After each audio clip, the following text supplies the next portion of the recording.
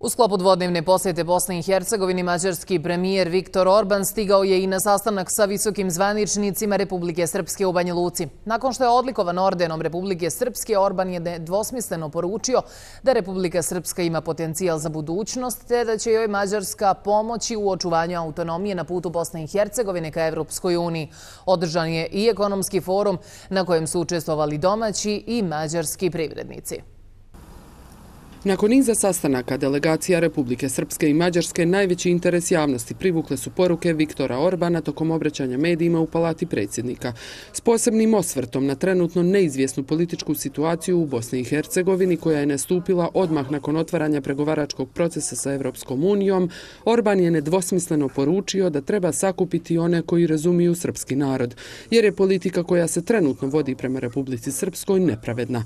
Obećao je posebnu pažnju prema zapadnom Balkanu sa fokusom na BiH kada Mađarska od 1. jula preuzme rukovodđenje Evropskom unijom. Evropska unija ima dosta problema, e, ali evo ja se svaki dan borim tamo ali danas nema e, nema boljeg okvira gde naše nacije, gde naši narodi mogu da ojačaju nego što je Evropska unija i zbog toga ću ja sve učiniti, naravno ako i vi to želite, da se što više približite e, danas e, najboljem međunarodnom okviru. Mi ne treba da se mešamo, treba da vam pomognemo. Nije nam naš posao da vam kažemo šta vi treba da radite, nego treba da vas pitamo u čemu možemo da vam pomognemo. Milorad Dodik je za novonastalu političku krizu pred premijerom Mađarske optužio američku administraciju s naglaskom da ima odlične dogovore sa predstavnicima druga dva naroda u BiH.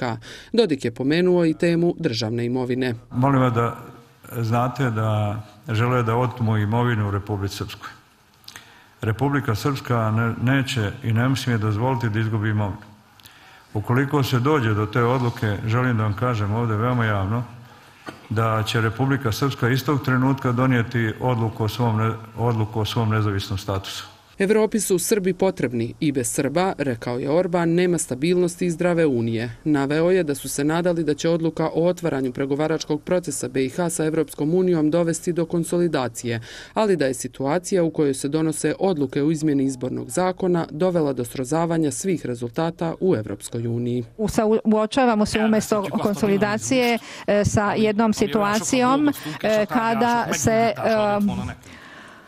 kada se donose odluke o menjanju, o izmeni e, ustava, e, izvinjavam se, o izmeni izbornog zakona i to dovodi e, do srozavanja e, svih rezultata koje smo postigli u Evropskoj uniji. E, u Briselu i Mađarska i svi ostali koji su to podržavali radili su godinama da se donese ova odluka i odjednom jedna ovakva provokativna odluka sve to dovodi u pitanje. Milorad Dodik odlikovao je Viktora Orbana ordenom Republike Srpske na ogrlici kao znak poštovanja prijateljstva između Republike Srpske i Mađarske i saradnje koja traje i koja će trajati. U prilog tome govori i održani ekonomski forum u Banja Luci na kojem je bilo preko 20 mađarskih kompanija. Poručeno je da su mađarske firme zainteresovane za saradnju i zajednički profit Mađarske i Srpske, posebno u oblasti energetike, poljoprivrede, financija i prehrambene industrije.